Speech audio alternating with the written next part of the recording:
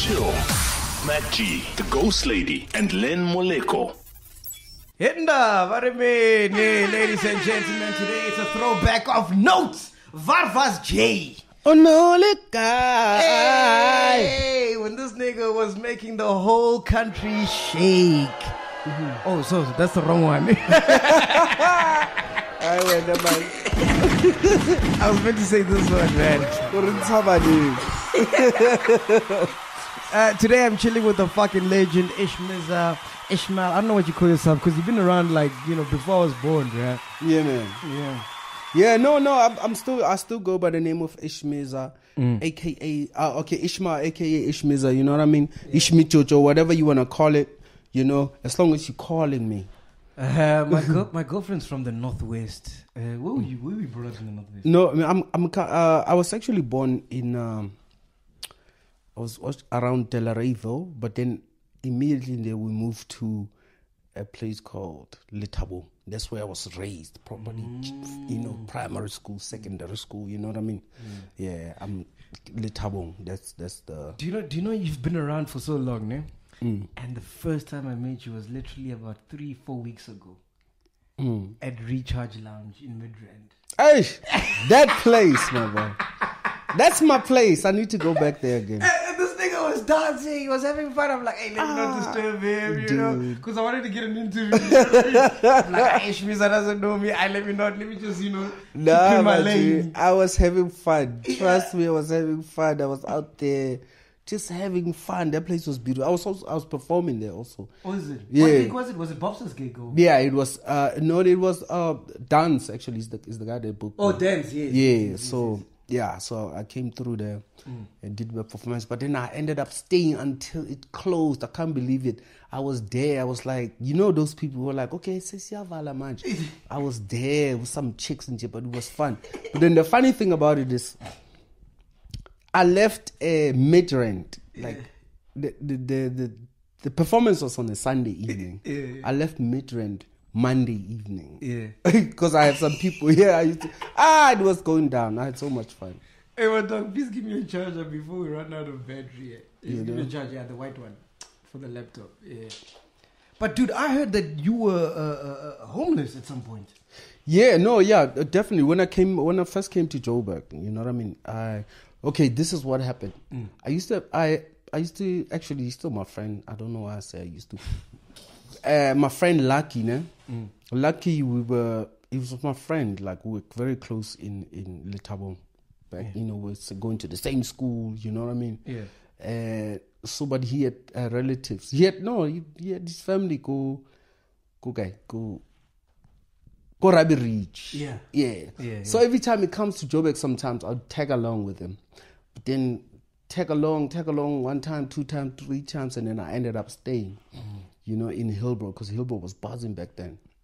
It was the I heard Hillbrow was like Sandton. it was the place to be. Trust me, it was like it was the place to be. You know. So I ended up staying at some point because I was pushing this music thing. You know, mm. I was pushing, definitely pushing it. It was it was my place. I was like, okay, Ranung, I stay now. I'm I'm not I'm not going back to to rusty dusty. Not that I'm not going back, but I'm not going back now. Yeah. This is what I've been looking for. I've been checking out people on TV who I was admire. Yeah, there was no Instagram that day. Ah, wanna Insta. Insta what? you know, there was nothing back then. So, but there was music, man. Music was everywhere. Every club you'd go to, there's an open mic. There's a there's a band, my boy. There's just fun in it. Back then, the, the club in two. Serious? It was, it was like That's when doors open. Mfana, six o'clock will sing, seven o'clock will sing. That's the only time. also, You know what I mean? Yeah. Yeah. and which, but for me, it was like it was heaven for me because it was like uh, it was a place where I could stay there the whole night because I had nowhere to go mm, at mm. some point. You know what I mean? Mm. I had nowhere to go. Let me be comfortable with you as well. Yeah. Yeah. And then that's when obviously I linked up with abantu abafana nabo Junior Dread from Boom Shaka because it, we were click back then and then abo lebu, you know, Orla- Matos? El- Orla lebu, yes, you know what I mean, and abo Tembi, abo Theo, and then we reason also. Not the reason the rapper, the reason the, the Tiba Tiba reason, and uh, yeah, we were just hitting the streets there, you know, making a plan and And sleeping by wanted you to be uh, part of Boomshak. It was. It, it- I, I was almost part of of Boom Shaka. I was almost part of Boom Shaka. But the, the thing when it happened, the Skeem was already happening, and that's when the the Waar Was Jy thing it came out. You know, so. That's that's that's how come I never because I remember I went to Botswana with them with the Boomshaka people and we were performing on stage together together with them, you know. But then just before that, when we came back to Joburg, I think that's when I was discovered. I was uh, I met up uh, Ramon and who took me to meet Ulans, Yeah. you know, from Motherland. So that's Lance was back. Was around back then those days. yeah, yeah. I'm do you remember POC was happening, Pell? Oh, there was POC back in the day, you know. So La- Lance was still was was there because he he's Lance is one of the one of the uh, Godfather. yeah, Godfather of the independent, also because remember in the, those days people were coming from the record companies and doing their thing. You know, that's when you have people like Abu Skido, you know, branching out and doing their own thing. Yeah. You know, you obviously. Lift your mic up so people can hear you. Yeah, you have yeah Abu Skido, you know, branching out and doing their thing, and then you have Abu Abu Lance, and then you have Abu Arthur, you know, coming out with their own. That's that. That was the era where people. Shit, what you are saying means the industry was born in Hillbrow because Oskido was selling hot dogs. The industry was born in Hillbrow. Say that again. the, indus- the independent industry that you see today was actually born in Hillbrow. You know? That's how powerful Hillbrow is. That's why niggas were not scared to be homeless out there because they know what we, we they, they were uh, right, chasing after was in Hillbrow. There was such a vibe, like you couldn't believe it was. It was too much. It was so. Sp- I don't know. But then when did you meet, uh, is, what's that rap group? Prodigy? Um, Uh, Prophet of the City. Prophets of the City. Yeah, sorry, Pro- Prophet of the City. I met them in Hillbrow. I met one man. Let me tell you the story about Prophet. Uh, how I met Prophet of the City. Me and Junior Dread were performing, go because we were kind of like a team. He would he would do his ragas and I do the singing, and we would dance as well. You know, in clubs and blah blah blah. And then, but then You one Krampa. No, that that, that was like during breakdance. breakdance You used to popping. break it down. I was ah, I was popping lock, popping and lock it, poppy popping and lock it. No, I was, I was, yeah, no, I was a popper and locker, but my main thing was singing, really. Yeah, yeah. yeah. And then, uh, uh, yeah, there was a competition in a club called, uh, I, f- I forget the name in Hillbrow, a rap competition, and we entered obviously, but the rap always went with dancing back then, and Oskido was also there as a we were competing. It was Oskido, me, Boomshak. I mean, me and Junior Dread from Boomshak, and some other people that I can't remember. But then you know, uh, I think Oskido won that. Oskido won the the, the best rap rapper. Oskido was a rapper. Yeah, Oskido was a rapper. You guys, you, Oskido was a rapper. Oskido and Oskido also could pop, pop and lock. What? Yeah, pop, lock, break dance. Yeah, you know what I mean at this club. But then that's when I met. uh Give me his drink there. But then uh, later on, though, later on, probably like a few weeks, couple of weeks after that, there was a club called uh, Pink Cadillac. Pink Cadillac was a club where you would say, like sort of like a colored club, like a colored club in Hillbrow. It was banging, yo yo. It was the the place to be. Also, that's when I met I met Ramon from. Uh, oh, and Ramon also was was that this club we, we were uh, competing at, the way there was Oskido and everybody Yeah. he saw us there, me and Junior doing our thing, and then it happened that Prophet of the City was looking for Ama uh, to replace the two dancers. They had some dancer twins that they were no longer with, and then they were like, "Okay, we're looking for two dancers. Can you guys join us?" That's pretty much when everything started happening for for us. We were introduced to guys- studios tours and stuff, and then um, I met Ramon. We introduced him to Lance, and then yeah, And you guys won the first best rap album at the SAMAs, if I'm not mistaken, yeah? yeah, we definitely did. Because KK and Cassper, yeah, out here fighting. You were the first to do it, my nigga. I know we fought. Eh, no, no, we definitely did our thing. You know, we o- we opened doors for it. I mean, eh, which is uh, it's a beautiful thing to ever to to think of. But for me, obviously, I, I have to think. I joined Prophet of the City, but Prophet of the City was already existing when I joined them. You know what I mean? So I'd say Prophet of the City opened doors for me and you know opened doors for why, why did you leave? Why did you leave the group? I didn't leave the group. Actually, the funniest thing is Prophet of the City never broke up. You know, it's just in J life where, you know, people start, you know, they grow up and people, they get married and some people, some friends with them? Some people, yeah, some people out there, Ready D's out there at the, Oh, Ready D was part of Prophets. yeah, no, Ready D was the leader of Prophet of the City. He was the main guy, hmm. you know, so still is. And Shaheen also, but Shaheen went to Canada. He now lives in Canada. He he teaches at the university. You know what I mean? So Fuck this SA shit. hey, dude, not fuck the SA shit. I wouldn't say he says fuck, but I, I would say, yeah, it's just life. Life happened like that, you know. And then when do you meet? Because music was not music was not paying at all back then. Serious? Especially no no music was paying, but if you're doing rap then dude, it was trust me, it was purely love because there was no money coming in For gig, into how much your you pocket. get paid? Dude, you don't even count those things. Back then, as a South African rapper, imagine people were like, "Oh, Lama American," you know what I mean? Like, uh, about yo man, yo man, man. No, yo, yo I, I see the screw screws are crying now, but they don't know. Back then, it was like, "Oh, yo man, oh yo yo," you know what I mean? And there was no really money; it was purely love, and you know it's it, it was crazy, but it was just pure love of the art and of the music, and that that's pretty much back then when even radio wasn't really playing hip hop. There wasn't YFM yet. No? Nah, there was no YFM. There was there was no urban kinda Mm, station. that represented. You know what I mean? You still have your you had your stations obviously, but most of them were really because back then stations were in a way they were owned in a way you could say they were owned by your Gallos your gallo which is an in- international radio uh, record company Company, yeah, Universal. yes universal which were you know just like little subs of you know so they were pushing they were put they were put their main concern was to push Abo Madonna and Michael Jackson and them and blah blah blah you know what I mean from the US but there was no local local was there obviously I mean you have people like Chicco and Aboban but I'm talking about like street like street like Kwaito or hip hop no that was not represented So when do you meet Skeem Sam?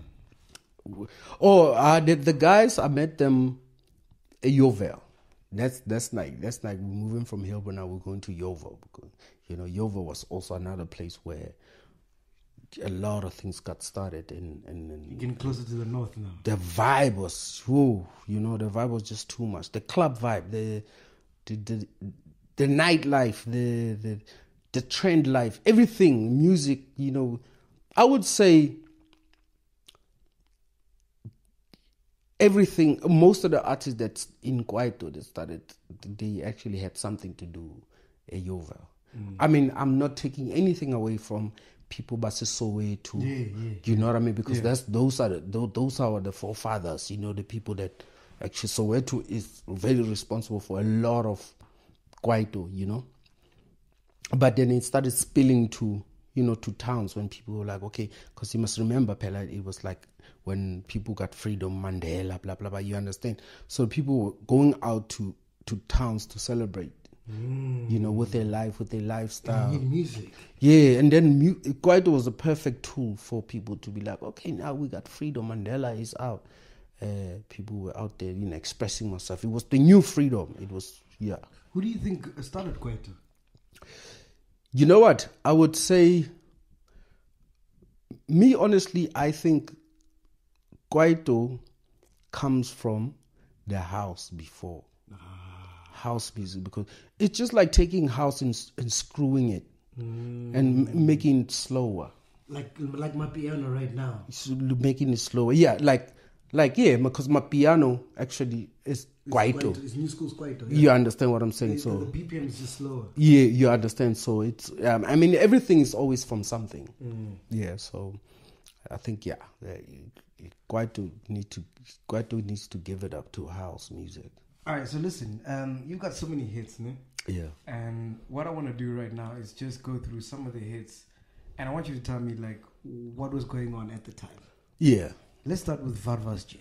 Waar Was Jy. How did that come about? Waar Was Jy was a track that we Unolika. Unolika. That that that is a product of Yovo. That's a product of Yovo because we used to we used to live in a flat, Lemachibos, Rasta Teba, uh, Lucky, and Orla Jacob. You know, we were friends. But then, but then I used to just, I was in POC, right? We used to go a lot overseas, like a lot. So every time I like when I leave my flat, my friends will be there. And when I come back, we'd be DJing around Yovo. We were DJs. We were, you know, at Tandos and places like that. So as us as friends, we did it. We we came up with the concept in the flat while we were just drinking and having fun. You know what I mean?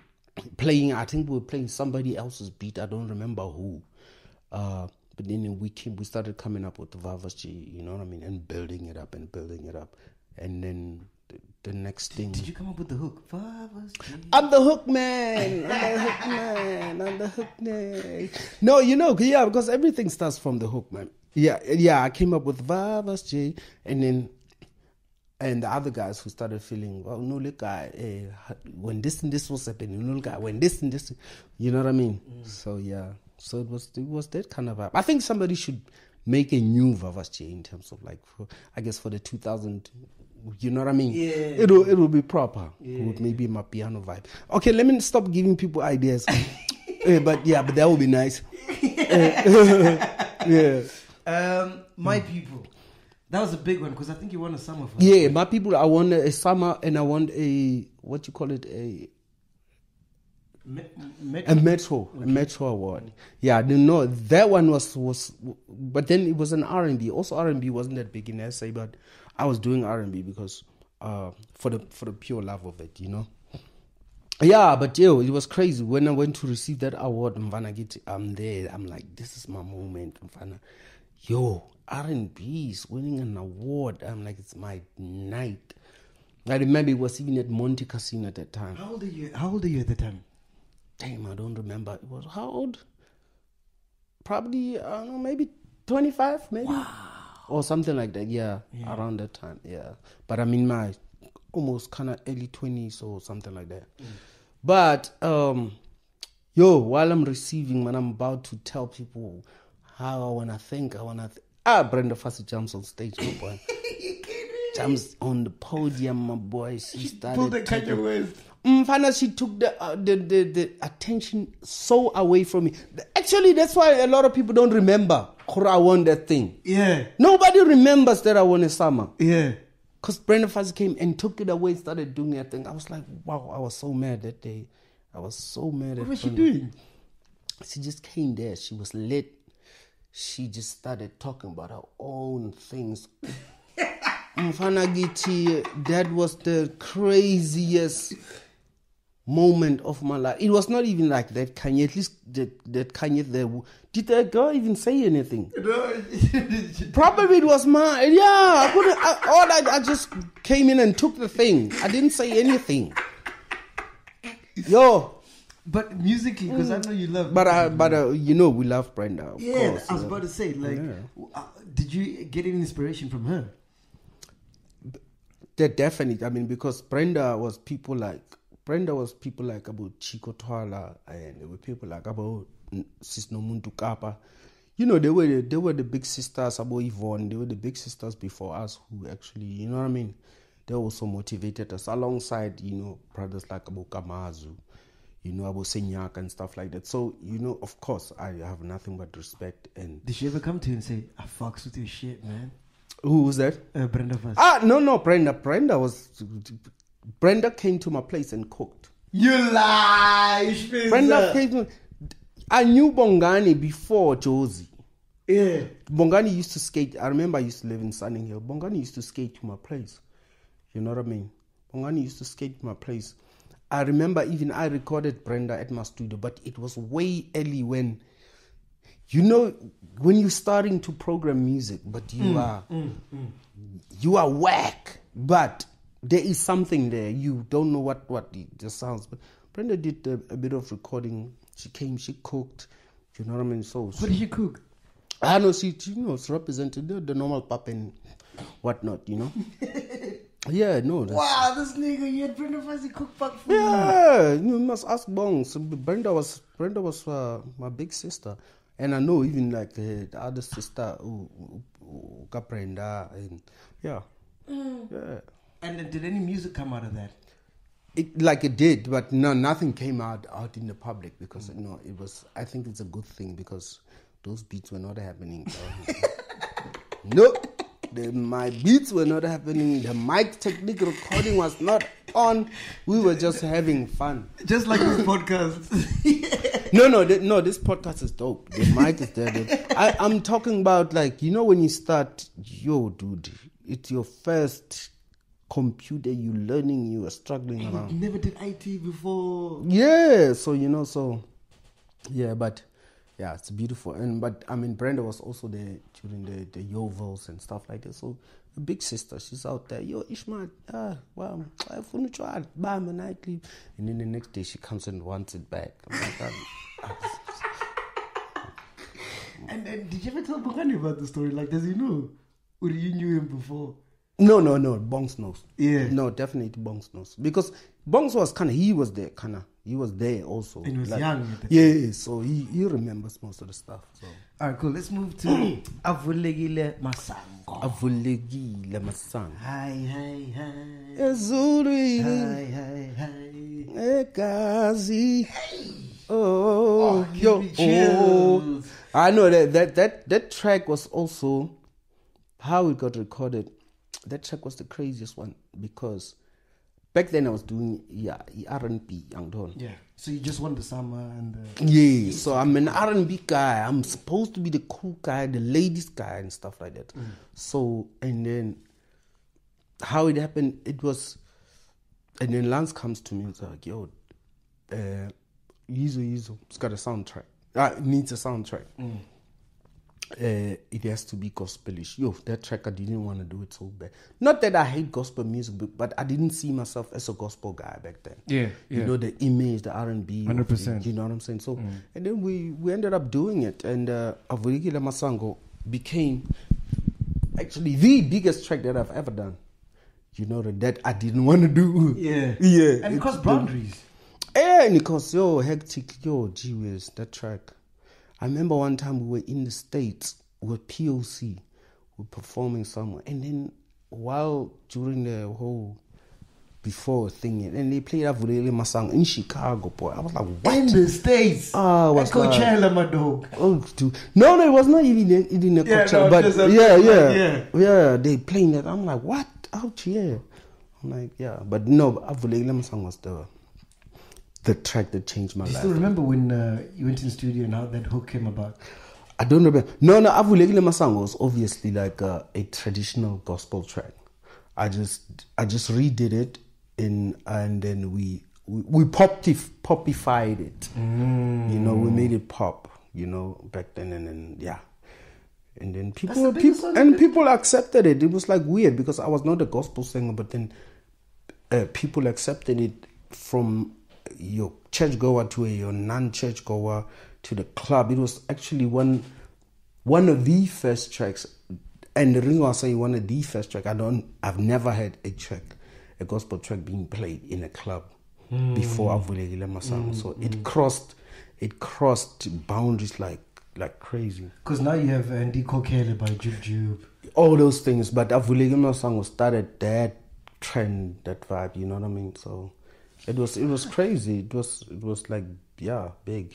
And then obviously then I went to uh, Triple Nine, and then uh, we re, we redid it again.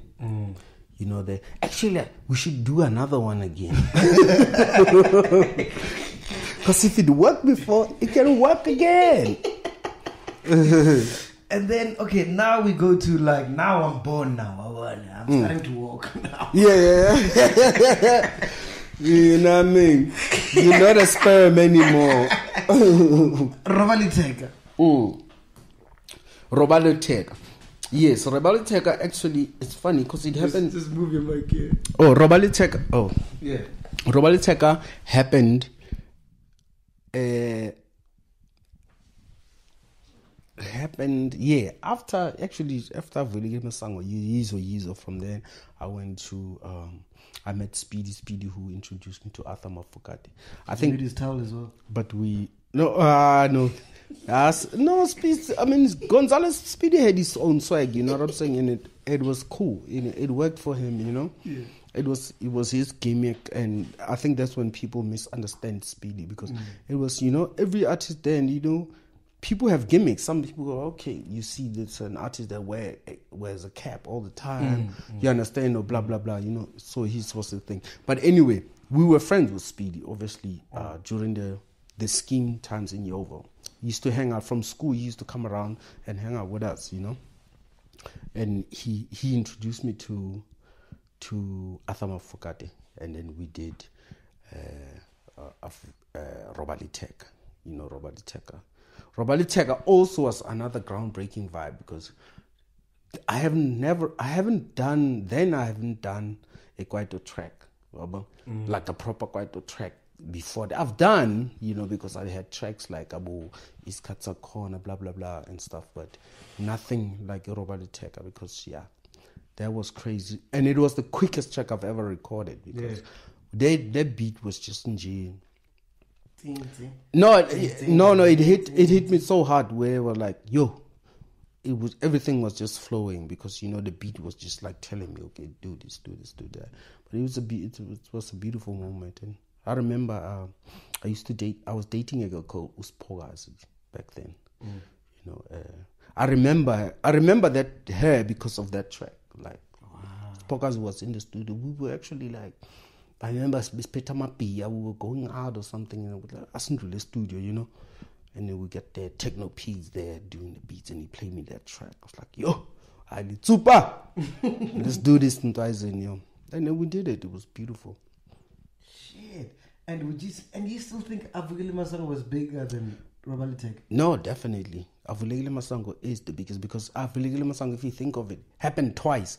It it happened at Motherland with Yizo Yizo, mm. and then again it was released again, got Triple Nine again. So it Avulekile song was big. What happened with that? Because you started at Motherland, then you went to Triple Nine. Then you came, and back. then I came back. Mm. Yes, no, no. It was uh, in the beginning. It was just in J like things of, um, you know, you in a record company, and then you feel sometimes like, okay, uh, you could you you can probably grow a bit, you know what I'm saying? Mm. And with the lack of understanding of of the, the industry as well, you know, you get too many people in your ear talking this and that, and like, oh, Ishmael, you can do better, blah, blah. because also you also understand you now as a human being. Yeah, you know what I'm saying. You're still growing, so of course, then mistake there, mistake there, you, you know. But then, then you realize, okay, made a mistake, and then you kind of like, okay. So, what was the mistake? Going to triple nine? No, I'm not saying yeah. I, I, I, mean, it was like um. No, it was not a mistake. Mm. Please, mistake a sharp no, it was not. no, it was not a mistake. It was a. It was. I'm saying the mistake was leaving the motherland ah. at that time because of whatever reasons, stupid reasons that I can't even remember right now. Mm. You know what I'm saying? But it's funny, like you made a you make a mistake, you th- you make a mistake there, and then you go somewhere, and things works out, and then you realize, okay, sharp, Ish, I'm not happy here anymore again, and then you go back or you go. to, You understand? It, it's so it it's, is. Like it's like work. It's like working. Go, go go check us, and then you're like, Ish, I'm not happy. Go check us. Oh, boy, I go Pick n Pay. You mm. work, and then you go back. It's just work. Mm. That's it. Mm. Yeah. Chill. MacG, the Ghost Lady, and Lenn Moleko.